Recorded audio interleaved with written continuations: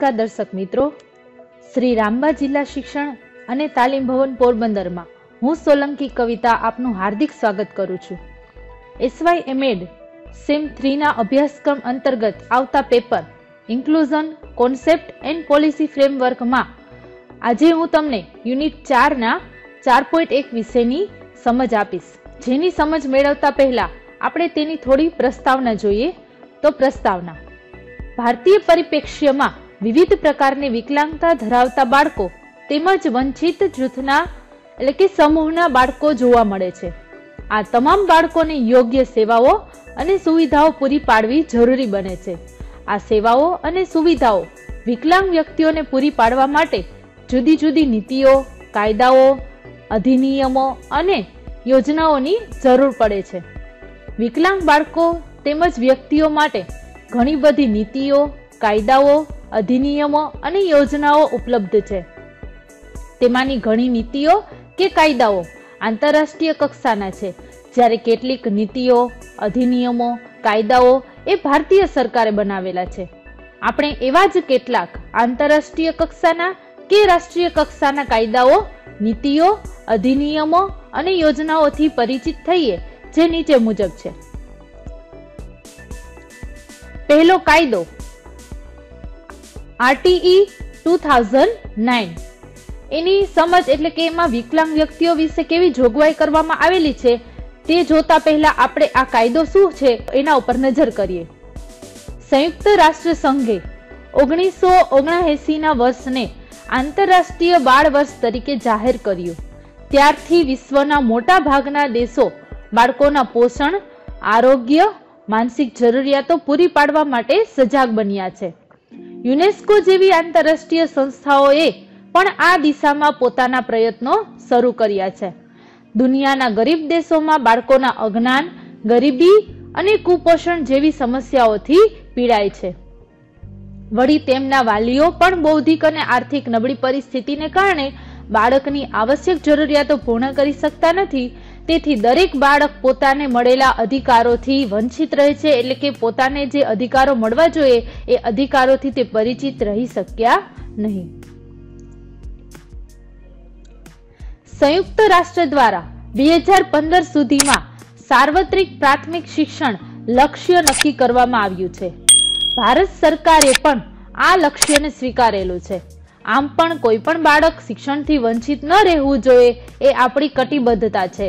એટલે જ બે હજાર બેમાં બંધારણમાં છ્યાસીમો સુધારો કરવામાં આવ્યો અને આ સુધારામાં પ્રાથમિક શિક્ષણના અધિકારોને મૂળભૂત આર્ટિકલ એકવીસ એ બનાવવામાં આવ્યો અને તાજેતરમાં જ આપણી સંસદે બાળકોને મફત અને ફરજિયાત શિક્ષણ એટલે કે પ્રાથમિક શિક્ષણનો અધિકારનો કાયદો બે હજાર નવ પસાર કર્યો છે.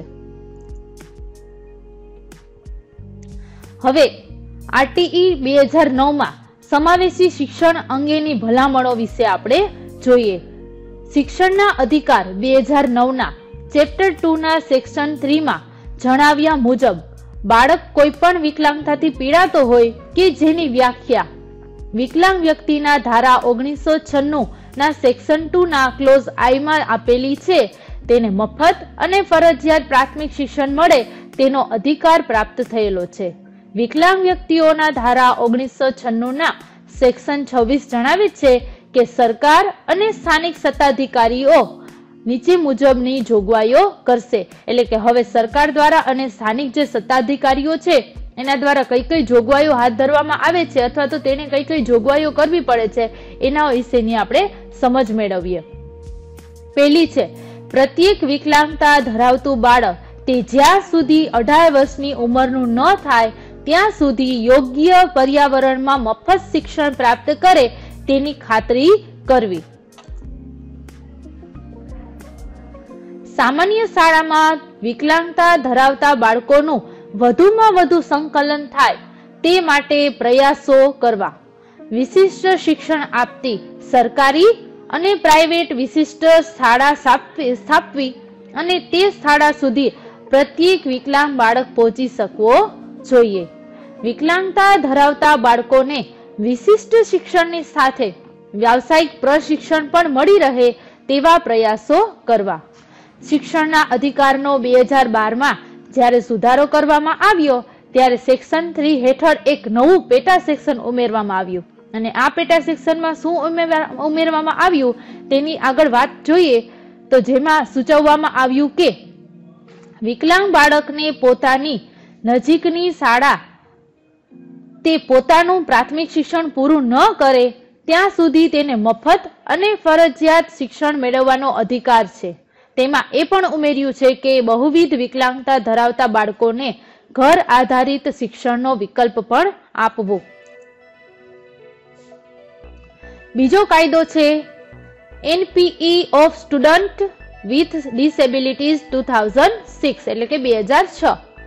જેની સમજ મેળવતા પહેલા આપણે તે આ કાયદો શું છે એની આપણે થોડીક માહિતી મેળવીએ. રાષ્ટ્રીય શિક્ષણ નીતિ અનુસાર અક્ષમ બાળકોને પણ સમાન તક, સમાન અધિકારો મળી રહે તે માટે એનપીઈની રચના કરવામાં આવી છે. કેન્દ્ર સરકાર દ્વારા પંદર ઓગસ્ટ બે હજાર ત્રણના રોજ રાષ્ટ્રીય વિકલાંગ આયોગનું નિર્માણ કરવામાં આવ્યું.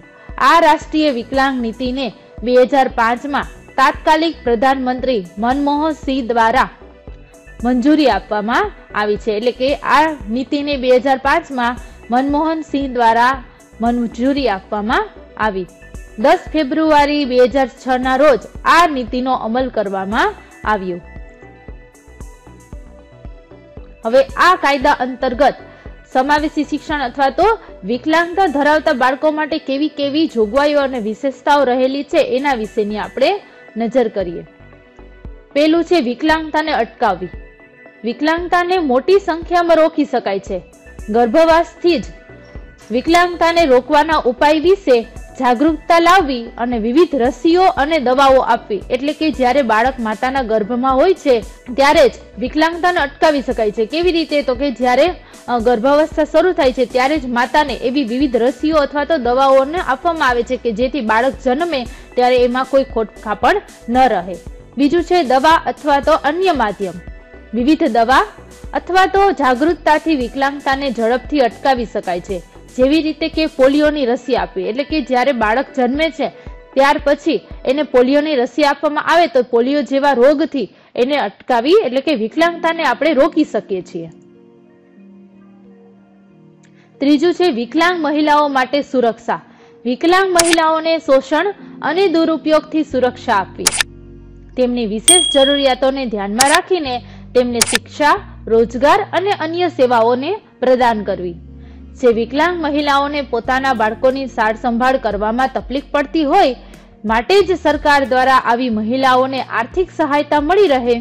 તે માટે એક કાર્યક્રમ શરૂ કર્યો છે, જેથી આવી વિકલાંગ મહિલાઓ પોતાના બાળકોની સારી રીતે સાર સંભાળ લઈ શકે.